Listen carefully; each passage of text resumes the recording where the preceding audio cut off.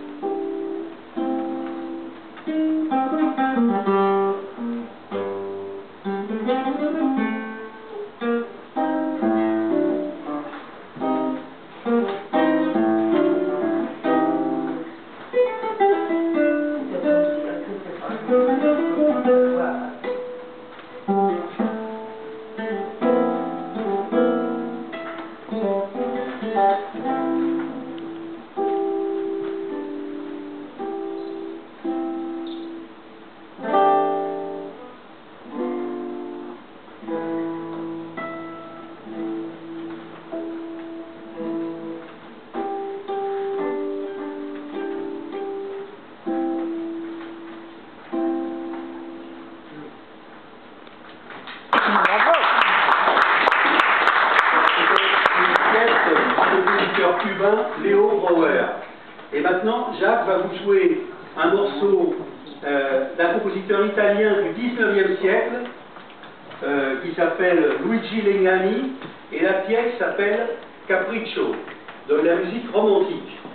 Capriccio.